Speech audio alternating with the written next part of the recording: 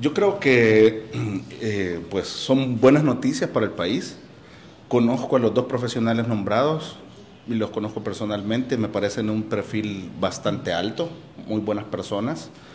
Particularmente, y quizás eh, no soy mucho de aplaudir a la gente, pues, pero a ellos personalmente los conozco. El, el licenciado Muñoz, que es el secretario jurídico ahora, es un muy buen abogado, con una muy buena trayectoria profesional y con un nivel personal también eh, muy bueno, un caballero completamente, un tipo muy educado, un tipo muy ecuánime. Creo que le va a sumar un elemento bastante técnico a la Secretaría Jurídica y pues espero y le deseo éxitos en el trabajo y en este gran reto que tiene. En el caso de Rodrigo Ayala, pues un joven sumamente preparado, que en sus intervenciones cuando estuvo en la Asamblea Legislativa siempre dejó entrever su carácter técnico. Creo que va a poder desarrollar mucho mejor el potencial que él tiene al frente de, la institución que lo ha puesto el presidente Bukele y también pues desearle éxitos. Como persona también es un buen muchacho, un, tipo que no ha andado en escándalos, que no ha estado... Eh, quemado, por decirlo así, en, las cuestiones políticas, que si bien es cierto, está en su segundo periodo, se ha sabido manejar muy bien y pues eh, espero que también tenga éxito en su gestión, porque si les va bien a estos funcionarios, le va a ir bien al país.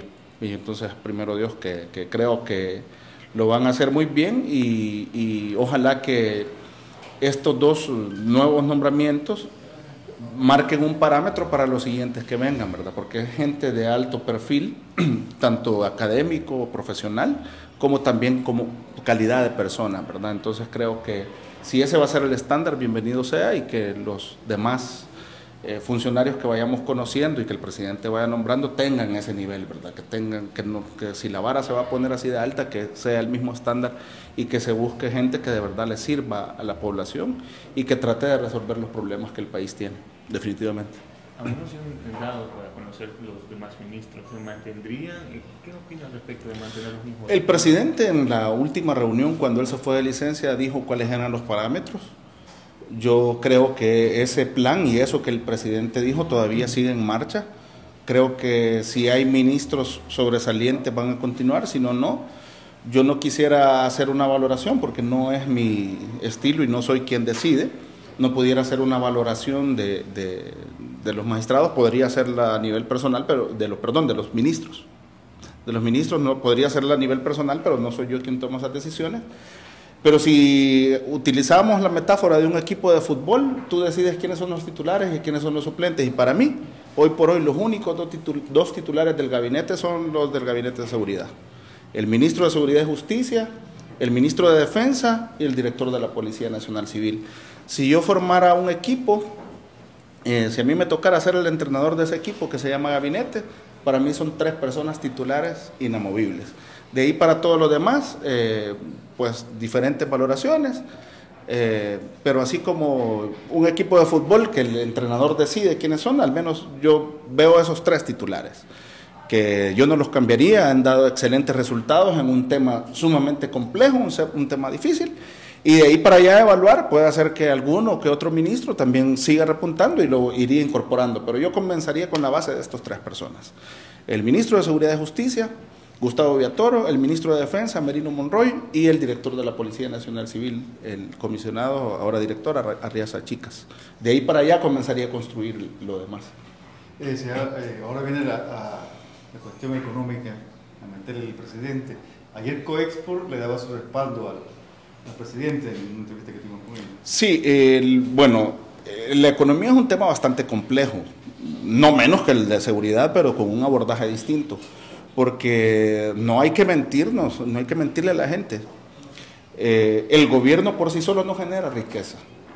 El gobierno no, por sí solo no puede sacar adelante la economía, necesita de los sectores productivos, necesita de la industria, necesita del comercio, necesita de los cañeros, de los cafetaleros, de los productores agrícolas, de los ganaderos, necesita de la microempresa, de la pequeña empresa. O sea, levantar la economía es un tema que no depende exclusivamente del gobierno sino que tiene que haber un abordaje integral y tiene que estar el acompañamiento de todos los sectores productivos del país. Entonces, por esa complejidad y por la cantidad de sectores involucrados en la economía es que las decisiones y las políticas en materias económicas tienen que ser más integrales y más creativas, eh, porque los intereses, por ejemplo, del sector pesquero no son los mismos intereses del sector cañero, o los intereses del sector cafetalero no son los mismos intereses del sector de la industria, de las maquilas, etcétera.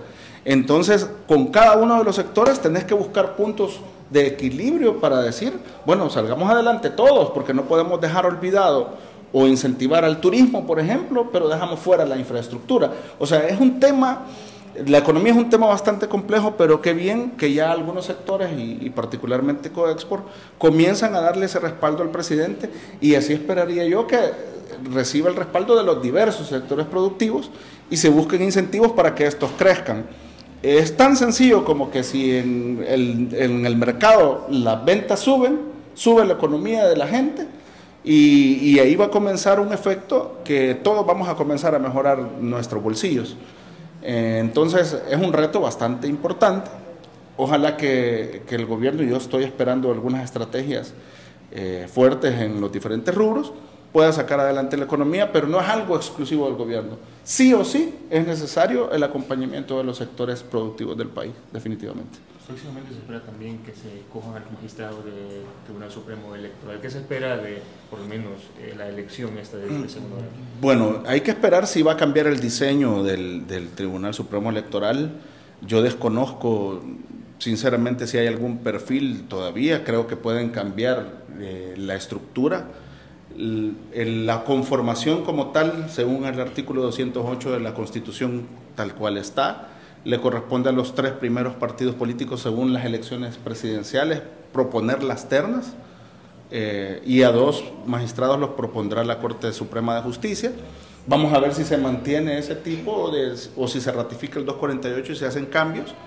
Personalmente creo que la institución, como fue diseñado el 208, bueno, de hecho, cuando la COPAS discutió la reforma constitucional, la primera propuesta era que hubiera un Tribunal Supremo Electoral ciudadano, ¿verdad? Que no fueran los partidos los involucrados. Sin embargo, por los intereses y en el momento de guerra que vivíamos en el país, se determinó que hubiese un tribunal con conformación política. Y esa es una de las cosas que ocurrieron en, en esos años y a estas alturas creo que el tribunal ya dio lo que tenía que dar con esa configuración. Es una apreciación muy particular y creo que debería de cambiar. Pero serán los tomadores de decisión, será la Asamblea la que va a verificar eso y creo que en su momento habrá que analizar qué cambios van a hacer. Gracias.